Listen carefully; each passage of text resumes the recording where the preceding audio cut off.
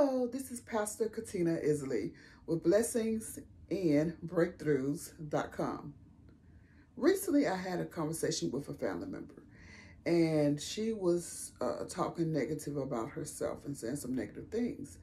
And I said to her, I said, you shouldn't say that, nor should you continue to say those type of negative things about yourself. I said, when you do, you can cause it to happen. Uh, and it goes back to what the Word of God says about this life and death and the power of our tongue, and how we should have, you know, we're going what we eat of, that is what's going to be produced. So it goes back to the uh, Bible scriptures like that I was referring to. So as I was telling her this, she said, she asked me the question. She said, "Why is it uh, that?"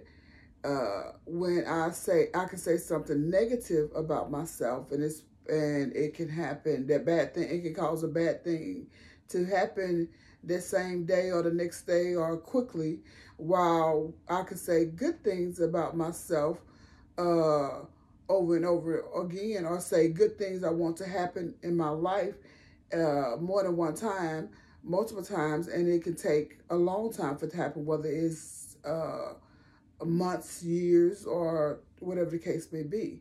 So she was questioning why is it that uh, I can say something uh, bad one time and, and, and, the bad thing can happen. And, and I can say something uh, uh, uh good or something good I want to happen and it may not happen for years. And uh, she's uh, one of those family members where we talk about the Word of God often, and uh, she knows my teaching, and um, and uh, what the Word of God says on these different uh, issues. I mean, on these different uh, uh, topics. So um, we were, so when she said that, I thought about it and I said, it may, and I realized it may seem that way, but in actuality, it's not.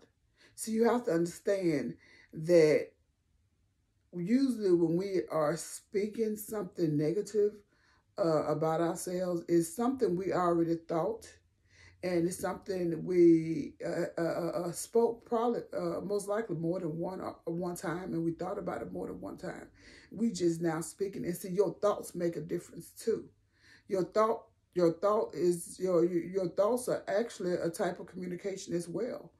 Um, if you ever watch people who testimonies about people who have had um, uh, uh, out of life experience, a near death experience, and they uh, and God blessed them and brought them back to life. Uh, uh and uh, the many of them, uh, when they share their testimony, they talk about how when they was it, it had the experience of going to heaven, how they communicate people when they communicate communicated with each other, but it was through the mind, it was through the thought, and you read the scripture and uh what Jesus said, if you think it, you are guilty of it. He was referring to uh, someone committing uh, adultery. And so our thoughts makes a our thoughts make a difference. It our thoughts uh, uh, uh, is showing, and usually before we act on something, we think it first. We think it, and then we speak it. And so those negative thoughts you keep repeating in your mind over and over again, it makes a difference also the thing is this we are more and when i said we i'm talking about we as human beings.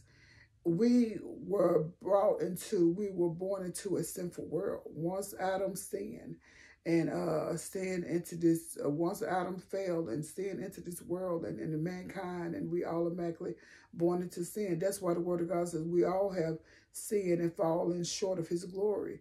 All of us and and and, and that's what it goes back to is is and that's why the scripture said with the uh, sin of one man, that man is Adam. Uh, all have sinned, and through this the the, uh, the and it goes on to say about how uh, we have an opportunity for that right to receive that righteousness when we accept Jesus Christ uh, as our Lord and Savior. Um, we can see scriptures that shows that. Uh, but my point I'm trying to make when it comes uh, when it comes to what I'm saying about sin. When we allow sin in our, well, well we have sin in our life, and when we we naturally, uh, uh, our flesh naturally gravitate towards those negative things. That's why you see, if you just observe people and listen to what they say, uh, uh, you would notice that because I have done this. Uh, I've just you notice that a lot of the things, you know, they're complaining a lot, or they'll talk about negative things. Or most people gonna speak the negative things or bad things in their life first before they'll speak something good. They just uh, automatically go towards the the negative or the bad, and. Uh, and, a lot of people are uh, they feed off that the negativity and you have it's a fight and you that's why the word of god says do not be uh, to this world but be transformed by the renewing of your mind because your mind your flesh actually naturally go to the negative things the bad things the sinful things you have to fight it it's, it's actually it really is a fight that you have to to be determined that I'm not going to go towards saying the negative things, thinking the negative things, speaking the negative things over myself and then others and uh, this sort of thing. You have to be determined to fight such a fight. And so what happens is we usually uh, think, we may think it over and over again, the negative thing, uh, the negative thing or things uh, about uh, ourselves, and then we uh, say it. And so in the situation where this family, what uh, in this conversation I was having with this family member, what she was saying was, well, how is it that uh, just one time uh, saying something negative, something bad can happen? Well, most likely she you did not. You may have spoken it one time, but you were thinking it, have been thinking it over and over and over again, off and on for a certain period of time, whether there, there's been months or weeks or whatever, and and that could be if all the times add up. And so that's how uh, it can become a the negative thing that you spoke about yourself can become a self-fulfilling prophecy, which you don't want to happen. It's important for us to speak life into ourselves. We speak, we should speak good things. And uh and and sometimes it takes uh, uh, it does take more time to than I believe in the word of God shows this. It does take uh, uh, when we have done something, uh, uh, profess something negative, it does take uh, a, a, lot more to correct that negative uh, with something positive and say things positive in its place. When I find myself saying something, and I know that from studying the Word of God, and when I find myself speaking something negative uh, uh, about myself or someone else, and then I I regret it. I realize it and I regret it. I'm like, oh man, I shouldn't have said that. Or I, sh I, I shouldn't have thought that. Uh, so what I do is I, I repeat the opposite, the good thing, the positive thing over and over again in my mind. And I speak it out loud sometimes as well because I want to, I want to undo. This is uh, my part of trying to undo the damage that I've done through my tongue or through my thoughts I replace the negativity, the negative things I said with something positive.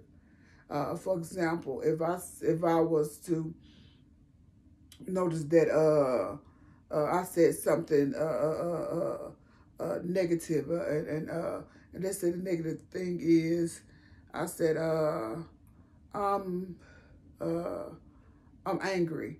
I'm, I'm, angry with so and so, and uh and I can't be it, it can be, uh, you know, a true statement. So, but I realized, you know what, it's not right for me to be angry with that person. I choose to forgive that person. So instead of me being angry, hold on to that anger and and repeating that, then those negative, uh, angry thoughts keep into my mind and be repeated in my mind over and over again, and me keep thinking on the things that the person said or did that made me ang- angry. I choose. I like okay. Uh, I'm a. I, I I, I should be angry. I'm let the anger go. I'm sorry, God, for being angry uh, with that person. I choose forgiveness. And so, uh, and I choose love. And so I start thinking positive things about that person. I start thinking of joyful things, joyful situations, a good time or a positive memory I have concerning that person. And and I and I say instead of me speaking negative things about that person, I say, you know, God bless that person. God bless that person, family. God, if I know something that person is seeking God for, I want a blessing in certain area, I speak blessings on that person in that way. Uh, uh, uh, and so that's just an example of how I do it and, and my way of trying to correct the wrong or uh, change the negative to something positive. Um, so it's very important that we don't allow ourselves to speak negative things about uh, ourselves. And it's very important for us to also uh, be had, also to have a forgiving heart towards others, a loving heart, a forgiving heart towards others. Uh, and when we do find ourselves uh, in that sin of being angry and and being upset, uh, uh, we have to know how to humble ourselves and repent, confess our sin, uh, repent of it, cover ourselves with the blood of Jesus, cover the situation uh, with the blood of Jesus, and ask God to help us. It's okay to ask God for, for help and ask God to help guide your tongue and your and your thoughts so you can line your word up with what his word says. So you can receive the blessings he has for you. I hope this is a help to you. To learn more, visit my website, www.blessingsandbreakthroughs.com.